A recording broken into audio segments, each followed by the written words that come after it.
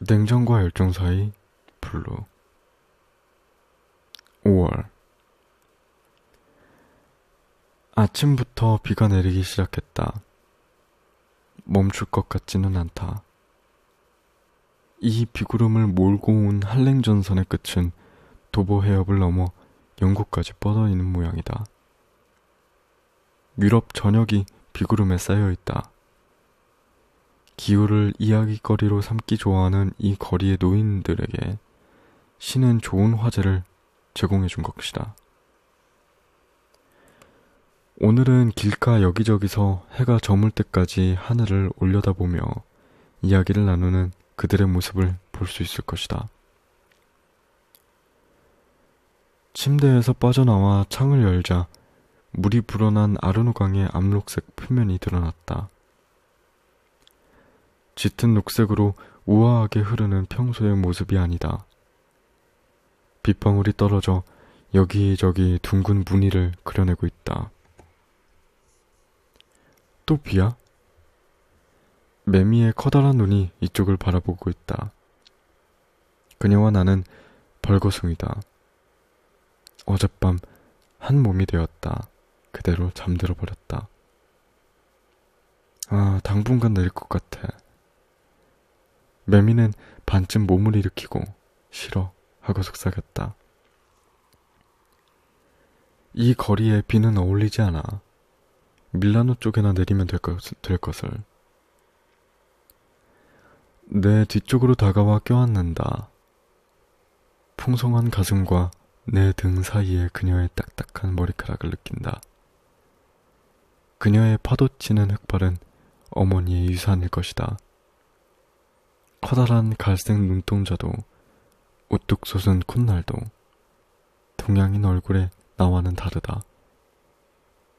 누가 어떻게 보나 이탈리아인의 얼굴이다. 5월은 정말 싫어.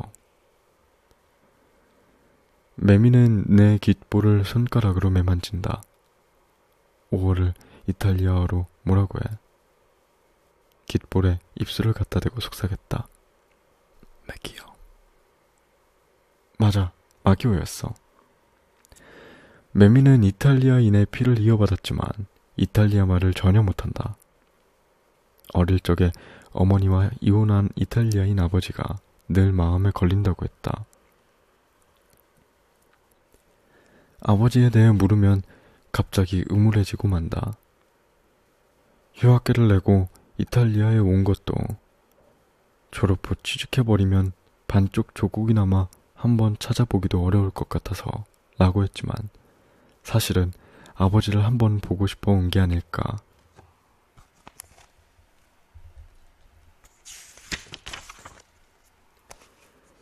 매미는 이탈리아어가 그렇게도 어렵니?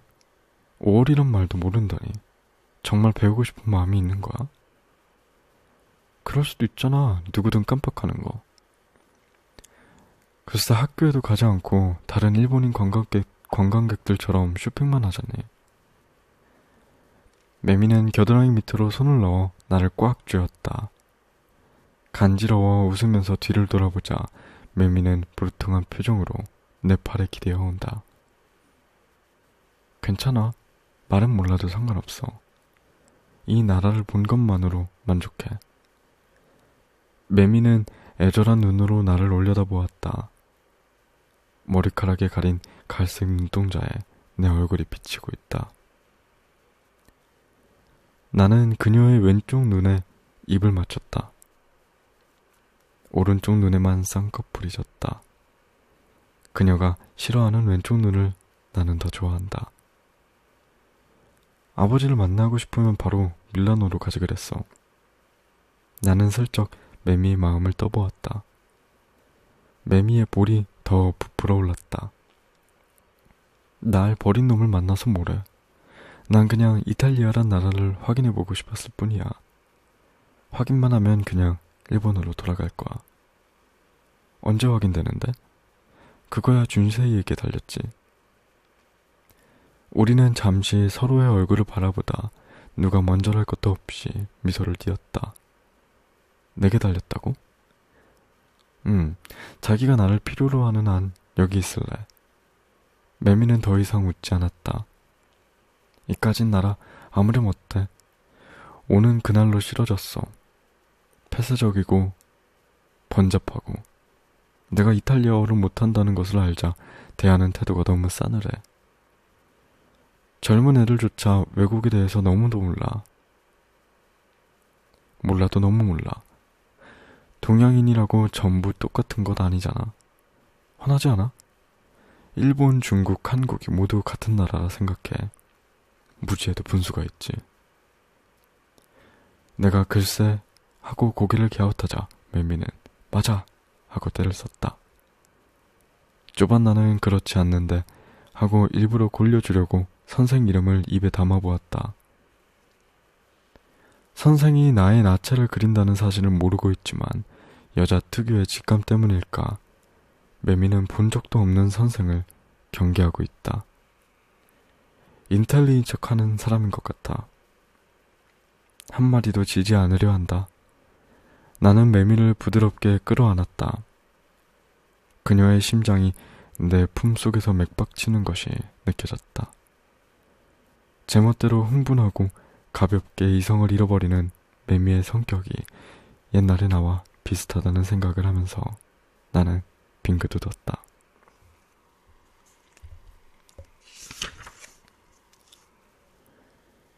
뉴욕에서 태어나 자란 나는 18살 때까지 일본을 거의 알지 못했다. 그때까지는 할아버지 아가타 세이지를 통하여 정보를 얻는 정도였다.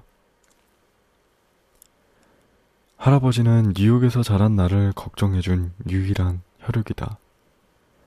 아버지 기요마사는 일과 젊은 여자의 정신이 팔려 어머니 없이 자라는 나를 늘 팽개쳐 두기만 했다.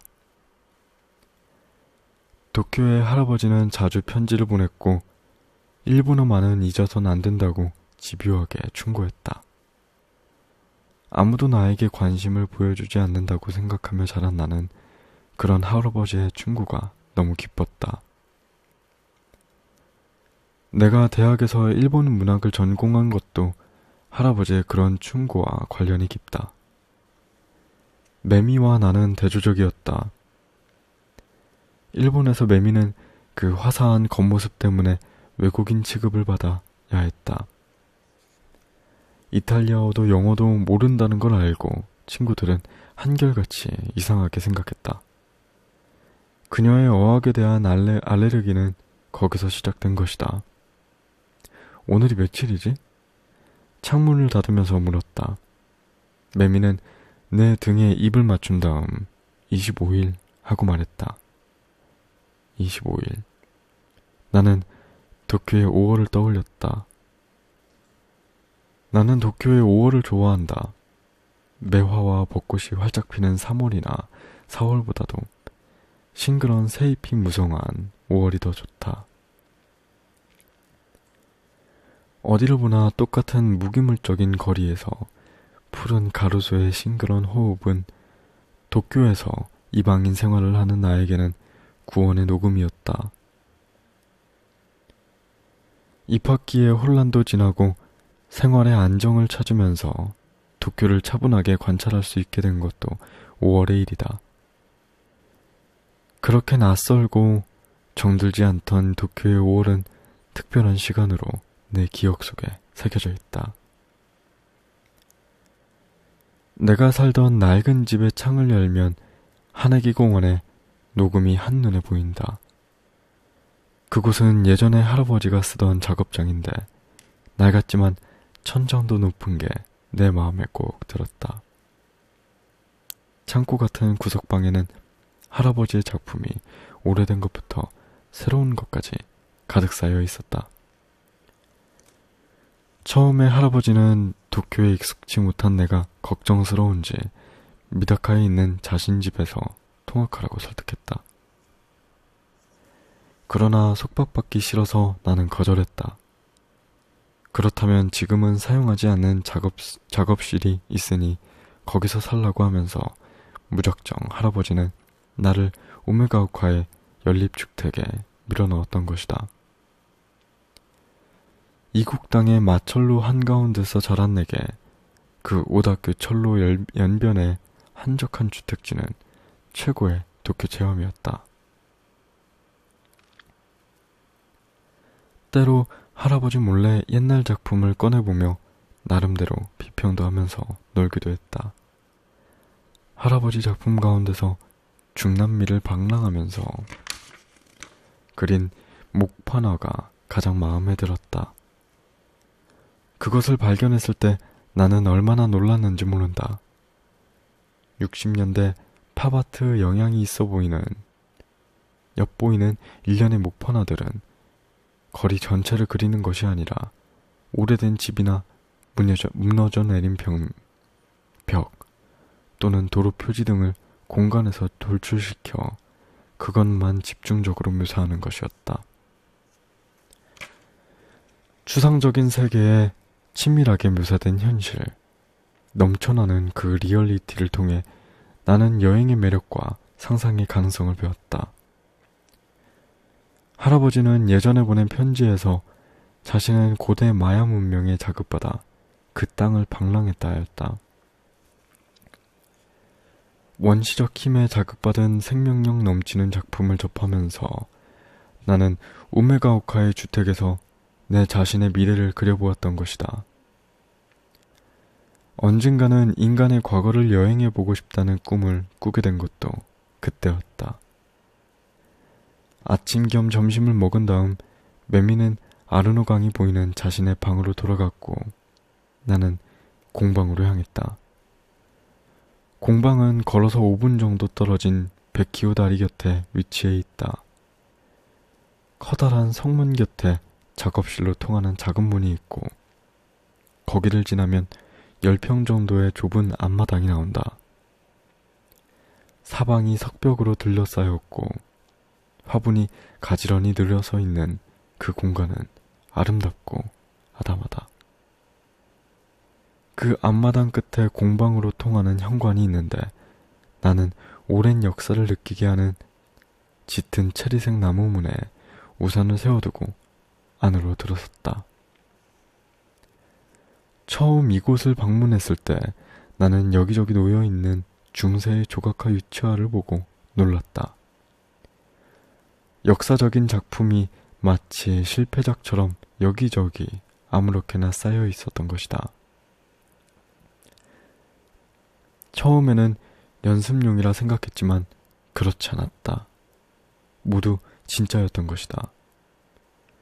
이곳은 거리 그 자체가 중세라 그리 놀라, 놀랄 일도 아니라고 선생은 내 어깨를 두드리며 미소 지었다. 그로부터 3년의 세월이 흘러 나는 몇 개의 보건사 자격증을 땄다.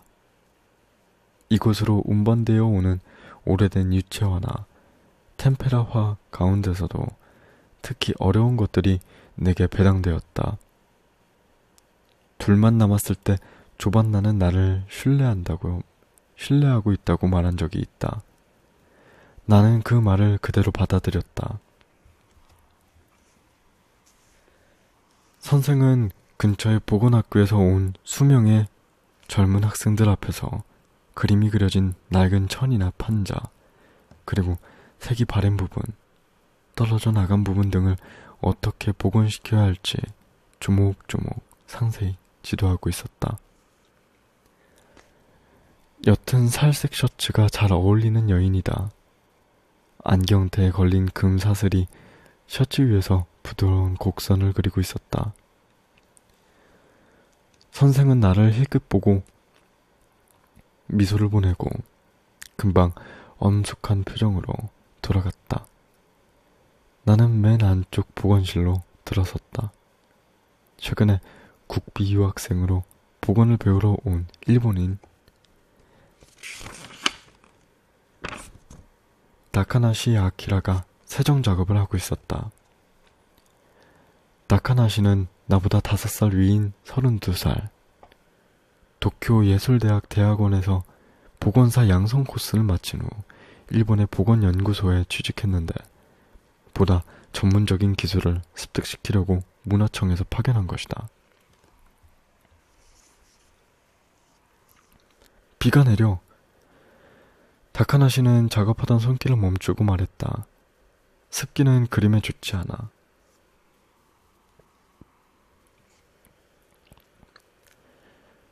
그는 면봉을 세심하게 움직이며 세정 작업을 하고 있었다. 표정은 침착했지만 손끝이 가늘게 떨리고 있었다. 나는 재킷을 벗고 머리 위로 작업복을 뒤집어 쓰고는 다카나시 곁에 앉았다. 습기 많은 일본에서는 보건 작업이 너무 힘들어. 기후가 건조한 이곳처럼 아귀에 식초 같은 걸 넣었다간 금방 곰팡이가 쓸고 말지. 그는 혼잣말처럼 그렇게 말하고 또 혼자 웃었다. 근본적으로 일본과는 작업 방법이 달라. 어떻게 다른데? 내가 묻자 다카나 씨는 응 하고 고개를 끄덕였다. 질문하기를 기다렸다는 태도였다. 하나의 예에 지나지 않지만 일본의 경우는 얼마나 오리지널에 가깝게 복원하는가를 중요시해.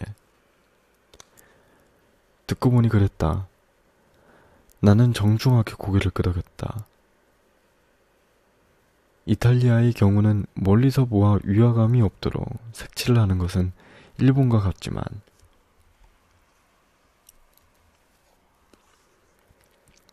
가까이에서 봤을 때 복원 작업을 했다는 것을 알 수 있게 해야 한다. 문화재로서 가치가 높으면 높을수록 어디가 복원되었는지 누가 보아도 한눈에 알아볼 수 있게 하는 것이 이 나라의 원칙이지.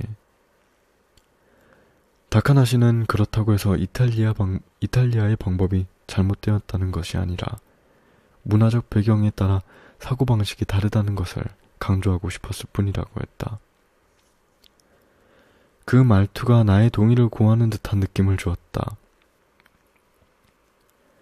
나는 작업에 들어갔다.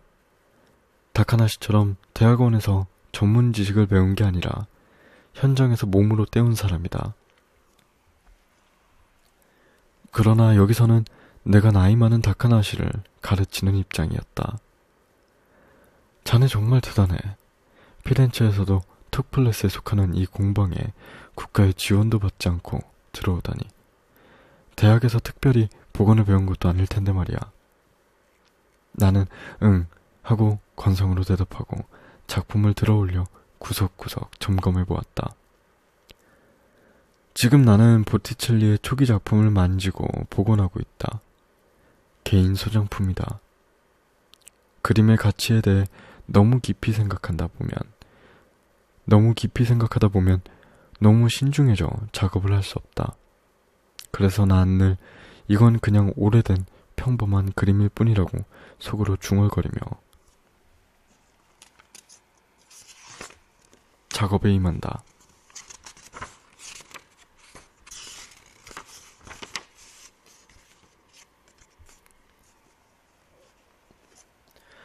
대학에서는 뭘 했니? 국문학. 전공은 산카슈. 12세기의 승려 가인 사이교의 저술. 산카슈 같은 유. 산카슈라고? 다카나시는 웃었다. 지금까지 이 길만 걸어온 내가 독학생인 자네에게 한 수 배워야 한다니 정말 내 신세가 처량하군. 다카나시의 말에는 가시가 돋쳐 있었다. 나이도 어린 놈이 경어도 쓰지 않는다고. 나를 시건방지다고 생각하는 것 같다. 일단 작업실을 떠나면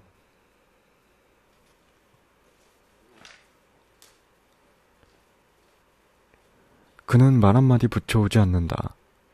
좁은 동네이고 보니 알게 모르게 일본인끼리 교분을 가지는 것이 보통이지만 나는 매미 이외의 일본인과는 의식적으로 관계하지 않으려 하고 있다. 어떤 방법으로 여기 오게 되었는지 말해봐. 방법이라니? 여선생과 잔다든지. 눈을 부릅뜨고 다카나시를 째려보았다. 다카나시의 한쪽 볼에 비웃음이 떠올라 있었다. 그때 안젤로가 다가와서 비가 거세졌다고 말했다. 천둥까지 치다니 정말 희한한 일이라면서 젖은 옷을 손가락으로 가리켰다. 큰 키에 얼굴이 새하얀 청년이었다. 아직 앳돼 보이는 얼굴이다. 안젤로는 활짝 웃었다. 새하얀 면 셔츠가 빗물에 젖어 그의 가느다란 몸에 착 달라붙어 있었다. 다카나시가 눈길을 돌리며 서툰 이탈리아어로 어서 옷을 갈아입는 게 좋겠다고 감기 걸리겠다고 말했다. 안젤로는 마치 형의 지시에 따르는 동생처럼 얌전하게 옷을 벗었다.